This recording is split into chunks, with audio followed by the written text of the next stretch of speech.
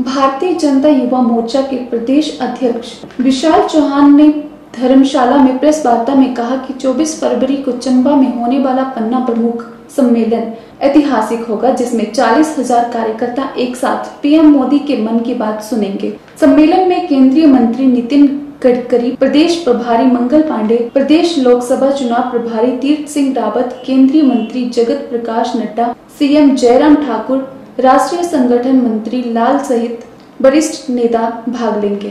इस अवसर पर युवा मोर्चा नेता विपिन नेहरिया, विशाल नेहरिया, आनंद शर्मा, दीपाकर पटियाल, सचिन शर्मा उपस्थित रहे। आगामी लोकसभा चुनाव के मद्देनजर में 2 मार्च को युवा मोर्चा के कार्यकर्ता व पदाधिकारी अड़सठ हज़ार बाइक्स में घूमेंगे। भाजयुमो कार्यकर्ता हर विधानसभा क्षेत्र में 1000 बाइक्स में घूमेंगे तथा इस दौरान 100 किलोमीटर का सफ़र तय किया जाएगा। इस बाइक रैली के माध्यम से केंद्रीय योजनाओं का प्रचार प्रसार किया जाएगा।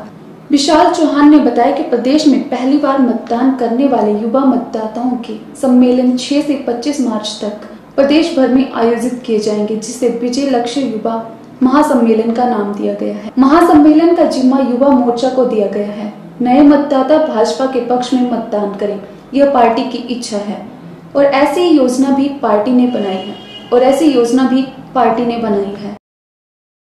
हिमाचल के लिए और विशेष तौर से कांगड़ा चंबा के लिए ऐतिहासिक होने वाला है, क्योंकि भारतीय जनता पार्टी का पन्ना प्रमुख का जो अंतिम सम्मेलन है, वो कांगड़ा के चंबी मैदान में होने वाला है। और उसमें एक खास बात यह है कि 24 फरवरी को ही प्रधानमंत्री जी अपने मन की बात करने वाले हैं और कांगड़ा के चंबी मैदान में चालीस हज़ार से ज़्यादा कार्यकर्ता प्रधानमंत्री के मन की बात सुनने वाले हैं और एक वर्ल्ड रिकॉर्ड बनने वाला है।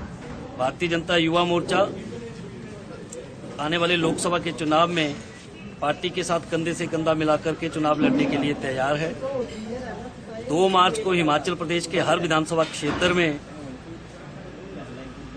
युवा मोर्चा बाइक वाहन रैलियों का आयोजन करने वाला है और प्रत्येक विधानसभा में एक हज़ार से ज़्यादा बाइक्स इस इन बाइक रैलियों में भाग लेंगी। और 100 किलोमीटर से ज़्यादा जो है वो उस विधानसभा का दौरा करेंगी। पार्टी का जो विधानसभा का नेतृत्व है, वहाँ के विधायक, वहाँ से जो मंत्रीगण हैं, बाइक रैलियों में रहने वाले हैं। और पिछले साढ़े चार साल से माननीय मोदी जी ने जो इस देश के लिए, प्रदेश के लिए योजनाएँ लाई हैं, उनका प्रचार युवा मोर्चा के कार्यकर्ता दो मार्च को करेंगे। और हिमाचल के अंदर भी दो मार्च को एक साथ सत्तर हज़ार से ज़्यादा वाहन भारतीय जनता पार्टी का झंडा लगा करके मोदी जी का प्रचार प्रसार हिमाचल में करने वाले हैं। ये भी अपने आप में एक अनूठी बात है।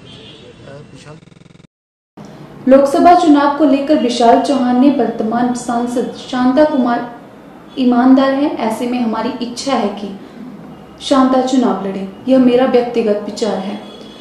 पत्रकारों के सवाल में जवाब में विशाल ने कहा कि पार्टी जिसे भी टिकट देगी उसकी जीत सुनिश्चित की जाएगी। उन्होंने खुद के चुनाव लड़ने पर कहा कि पार्टी हाईकमान मौका देगी तो वो तैयार हैं। उन्होंने कहा कि पार्टी प्रत्याशी को लेकर भाजयुमो ने भी सुझाव भेजे हैं तथा पार्टी द्वारा अपने स्तर पर भी सर्वे किया जा रहा है।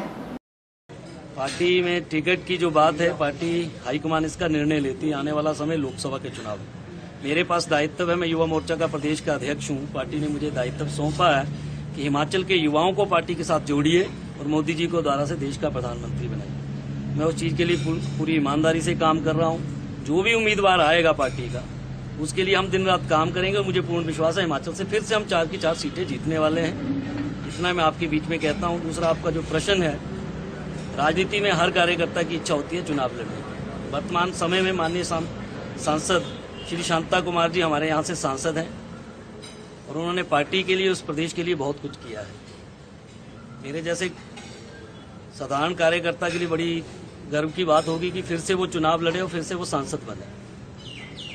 लेकिन पार्टी जो भी निर्णय लेगी जिसके लिए भी निर्णय लेगी हम उसके लिए तैयार हैं। कांगड़ा चंबा से पार्टी का उम्मीदवार फिर से जीतेगा और लोकसभा। आप कितने तैयार हैं? कहती है तो आप तैयार हैं। पार्टी अगर मुझे भी कहती है या किसी और भी कार्यकर्ता को कहती है हम सब तैयार हैं। भारतीय जनता पार्टी में चुनाव नेता के नाम से नहीं लड़ा जाता कार्यकर्ता के ऊपर लड़ा जाता है। मुझे भी अगर सौभाग्य ऐसा मिलेगा तो मैं भी तैयार हूँ। विशाल जी पूर्व मंत्री जी एस बाली ने